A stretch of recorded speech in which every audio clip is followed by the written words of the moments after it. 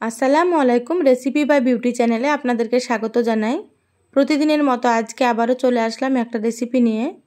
আজ আপনাদেরকে বেগুন আর ডিম দিয়ে দারুণ একটা রেসিপি শেয়ার করব। এই রেসিপিটা খেতে খুবই ভালো হয়, তা আপনারা স্কিপ না করে পুরো ভিডিওটি দেখে নেবেন। আশা করছি আপনাদেরকে রেসিপিটা অনেক বেশি ভালো লাগবে। চ্যানেলে নতুন হলে চ্যানেলটা সাবস্ক্রাইব করার অনুরোধ রইল।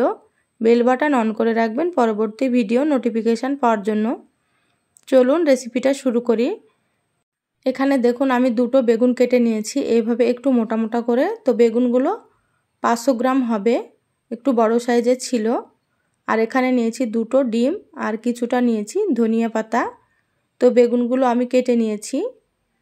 বেগুনগুলো খুব ভালোভাবে ধুয়ে পানি ঝরিয়ে নেব। বেগুন ধুয়ে পানি ঝরিয়ে নিলাম। এবার এখানে দেখুন, গ্যাসে ফ্রাই প্যান দিয়ে দিলাম।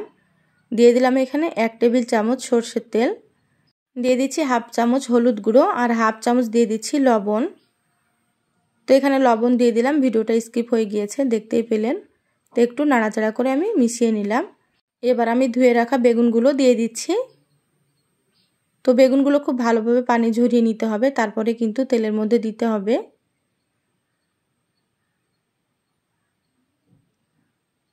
দেখুন, সব বেগুনগুলো দিয়ে দিলাম। এবার নাড়াচাড়া করে বেগুনগুলোকে ভেজে নিচ্ছি। তো গ্যাসের আজ বাড়িয়ে বেগুনগুলো ভেজে নিতে হবে। এই বেগুনের রেসিপিটা ভাত, রুটি, পরোটার সাথে কিন্তু খুবই ভালো লাগে। আপনারা অবশ্যই পুরো ভিডিওটি দেখে নেবেন। তো এইভাবে দেখুন, আমি নাড়াচাড়া করে বেগুন ভেজে নিচ্ছি। যারা ভিডিওটি দেখছেন, প্লিজ একটা লাইক দিয়ে ভিডিওটি কন্টিনিউ করবেন। আপনাদের একটা লাইক পরবর্তী ভিডিও বানাতে আমাকে অনেক উৎসাহ জাগায়। দেখুন, বেগুনগুলো আস্তে আস্তে কালার চলে আসছে। দেখেই বুঝতে পারছেন, তো এইভাবে করে বেগুনগুলো ভেজে নিতে হবে।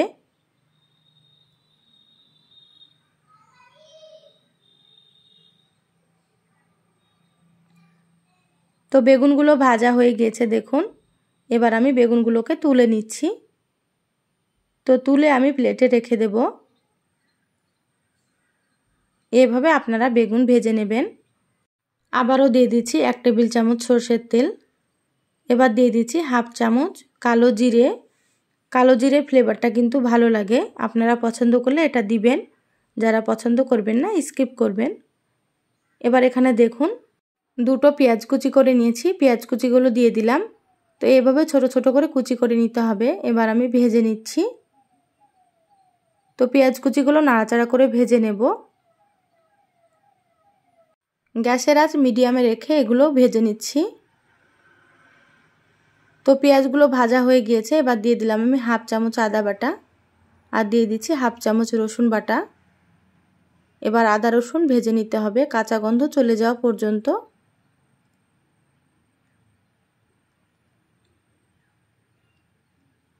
আদা রসুন ভেজে নেওয়া হয়ে গিয়েছে, এবার আমি দিয়ে দিচ্ছি স্বাদ মতো লবণ। লবণটা বুঝে দিতে হবে, কারণ প্রথমে লবণ দিয়ে ভেজে নিয়েছি বেগুন, সেই জন্য। আর দিয়ে দিলাম এখানে হাফ চামচ হলুদ গুঁড়ো, হাফ চামচ দিয়ে দিলাম জিরে গুঁড়ো, হাফ চামচ লঙ্কার গুঁড়ো। এবার সামান্য পরিমাণে একটু পানি দিয়ে মশলাটা খুব ভালোভাবে কষিয়ে নিচ্ছি। আর ঝালটা আপনারা আপনাদের পছন্দ মতো দিয়ে দেবেন। খুব ভালো করে মশলা কষিয়ে নিতে হবে। এবার এখানে দেখুন চারটে কাঁচা লঙ্কা কুচি করে নিয়েছি, দিয়ে দিলাম।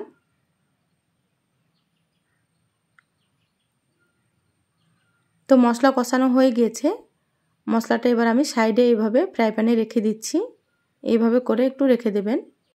এবার দেখুন আমি বাটিতে ডিম দুটো ভেঙে নিয়েছি, এবার আমি দিয়ে দিলাম। এবার আমি হাত দিয়ে সামান্য একটু লবণ দিয়ে দিচ্ছি ডিমের উপরে।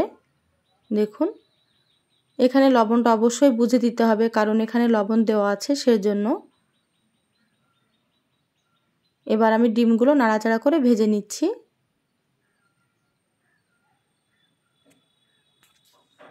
ডিমগুলো আমি খুব ছোট ছোট করে ঝুরি করব না, হালকা একটু মোটা রেখে এটা ভেজে নেব। দেখুন, আমি কীভাবে করে নিচ্ছি, তাতে করে কিন্তু খেতে ভালো লাগবে।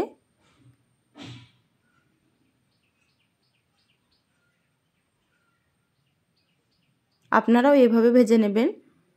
যারা আমার চ্যানেলে নতুন এসেছেন, রেসিপিটা ভালো লাগলে প্লিজ চ্যানেলটা সাবস্ক্রাইব করে চ্যানেলের সাথে থাকবেন। বেল বাটন অন করে রাখবেন পরবর্তী ভিডিও নোটিফিকেশান পাওয়ার জন্য। যারা সাবস্ক্রাইব করে সাথে আছেন, তাদেরকে অসংখ্য ধন্যবাদ। দেখুন, আমি ডিমগুলো হালকা ভেজে নিলাম, তারপরে মশলার সাথে খুব ভালো করে এইভাবে মিশিয়ে নিতে হবে। আর ডিমগুলো অতিরিক্ত ভাজলে ভালো লাগবে না খেতে। এইভাবে করে হালকা করে ভেজে নিতে হবে। দেখুন, খুব ভালোভাবে মিশিয়ে নিয়েছি। এবার এখানে আমি ভেজে রাখা বেগুনগুলো দিয়ে দিচ্ছি। বেগুনগুলো দিয়ে খুব ভালোভাবে মিশিয়ে নেব। আমার চ্যানেলে আরও অনেক রেসিপি আছে, চাইলে আপনারা আমার রেসিপিগুলো দেখে আসতে পারেন। কিছু রেসিপির লিঙ্ক আমি আই বাটনে দিয়ে দেবো, আপনারা সেখান থেকেও দেখে নেবেন। দেখুন, খুব ভালোভাবে নাড়াচাড়া করে মিশিয়ে নিলাম। মেশানো হয়ে গিয়েছে, এবার আমি এটাকে ঢাকা দিয়ে লো আছে পাঁচ মিনিট রান্না করব। তো ফিরে আসছি পাঁচ মিনিট পর। পাঁচ মিনিট রান্না করে নিলে কিন্তু মশলা খুব ভালো মতো বেগুনে ঢুকে যাবে। তো দেখুন, ফিরে আসলাম পাঁচ মিনিট পর। আবারও খুব ভালোভাবে নাড়াচাড়া করে মিশিয়ে নেব। এবার গ্যাসের আঁচটা মিডিয়ামে রেখে ভাজা ভাজা করে নিতে হবে। দেখুন, আমি ভাজা ভাজা করে নিচ্ছি। একটু সময় ধরে এটা করে নেবেন। দিয়ে দিলাম কিছুটা ধনিয়া পাতা কুচি। খুব ভালোভাবে নাড়াচাড়া করে মিশিয়ে নেব। আর এই রান্নাতে যেহেতু পানি ব্যবহার করিনি, সেজন্য একটু সময় ধরে এটা রান্না করে নিতে হবে। আপনারা একটু সময় ধরে করে নেবেন, তাতে করে বেগুনগুলো খুব সুন্দর সেদ্ধ হয়ে যাবে। দেখুন, খুব সুন্দর সেদ্ধ হয়ে গিয়েছে। আর এখানে নাড়াচাড়া করে ভেজে নিলাম। রান্না হয়ে গিয়েছে, এবার আমি গ্যাসটা বন্ধ করে দিলাম। প্লেটে তুলে নিয়ে আপনাদেরকে দেখাচ্ছি। দেখুন, এই তো প্লেটে তুলে নিয়েছি। আর কতটা লোভনীয় হয়েছে দেখতেই পাচ্ছেন। ভাত, রুটি, পরোটার সঙ্গে খুবই ভালো লাগে। তো এইভাবে আপনারা বেগুন একবার রান্না করে খেয়ে দেখবেন। বাড়ির ছোট থেকে বড় সকলেই খুব পছন্দ করবে। আপনাদেরকে এই বেগুন আর ডিমের রেসিপিটা কেমন লাগল অবশ্যই চ্যানেলের কমেন্ট বক্সে জানাবেন। ভালো লাগলে একটা লাইক দিয়ে দিবেন আর যতটা সম্ভব বন্ধুদের সাথে শেয়ার করে দিবেন। সবাই ভালো থাকবেন, সুস্থ থাকবেন। ফিরে আসব আবারও কোনো নতুন রেসিপি নিয়ে। ধন্যবাদ সবাইকে। আল্লাহ হাফেজ।